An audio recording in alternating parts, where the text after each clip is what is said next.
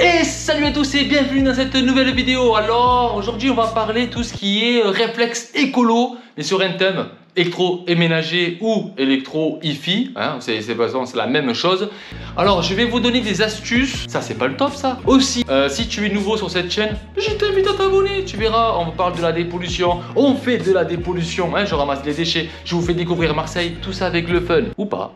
Alors, le réflexe qu'il faut, hein, ne pas jeter vos produits électroménagers, comment faire? Alors je vais donner un exemple sur cette machine à café, voilà. Venez acheter une machine à café Nespresso, on s'en fout de la marque, mais c'est juste pour l'exemple, ne me rend pas fou, ok? Cette machine, elle, vous l'avez payée 90 euros. Très important de savoir le prix parce que on, va, on verra ça plus tard. La machine, elle marche bien. Hein. Tous les matins, vous prenez votre café, tranquillou. Hein. Si vous êtes fumeur, café, clope est égal caca, on le sait très bien. Et un beau jour, la machine, elle a un problème. Oh putain, Qu'est-ce qu'elle a? Eh ben, elle coule plus le café. Euh, je sais pas, mais je mets un truc, y a un bruit bizarre. Eh, c'est bon, elle est cassée. Ah, qu'est-ce que je vais faire? Gros, je vais le jeter à la poubelle. Voilà, et je vais m'acheter un autre. Je vais pas blâmer ça, c'est normal. On arrive dans une époque où tout le monde fait ça en fait. Eh ben, elle marche plus, ben, je le jette et je prends un nouveau. Voilà. Ça coûte cher en vrai à faire ça. Je vais vous expliquer comment garder votre argent.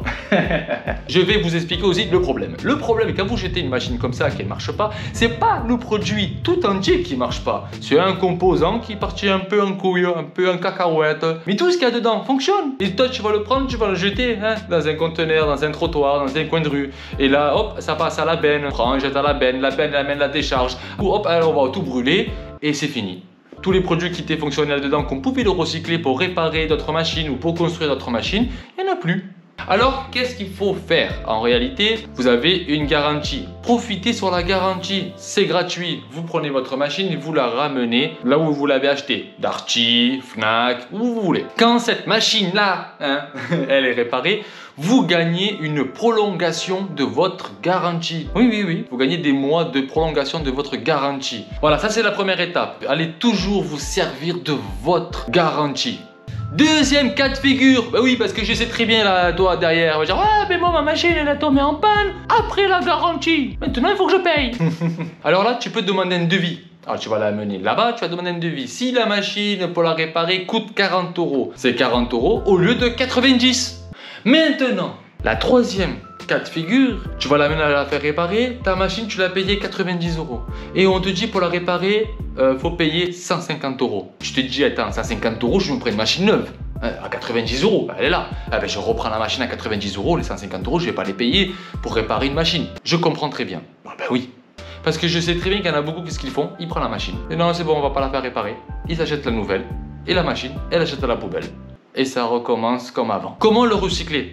Parce qu'elle va dire, ouais, mais comment je fais pour la recycler, la machine Dans votre magasin. Eh oui, eh ouais. vous dites en fait à votre vendeur ou à votre conseiller, vous savez quoi? Gardez la machine. Gardez la machine, comme ça vous pouvez la réparer, la reconditionner et ensuite euh, la vendre. Moi je vais m'acheter une nouvelle. Allez, parce que 150 euros, ben, je me prends une 90 euros, pas mieux, voilà. Et là, du coup, vous avez opté sur un geste écologique, un geste de tri, de recyclage, sans vous rendre compte. Eux, ils sont dans l'obligation de récupérer la machine, ils ont des locaux spéciaux, ils savent vous l'envoyer, ils vont le reconditionner, et vous allez le retrouver cette machine à électrodépôt. Oui, oui.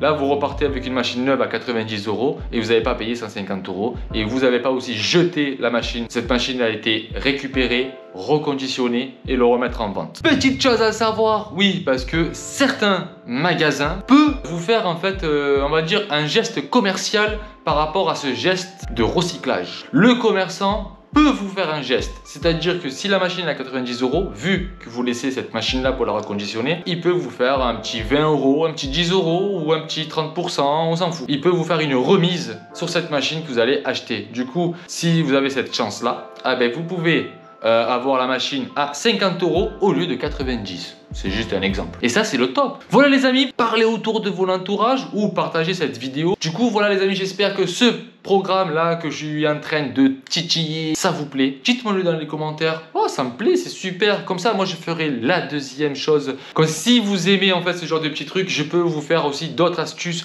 Comment gagner de l'argent grâce à votre poubelle? Et là, c'est du what?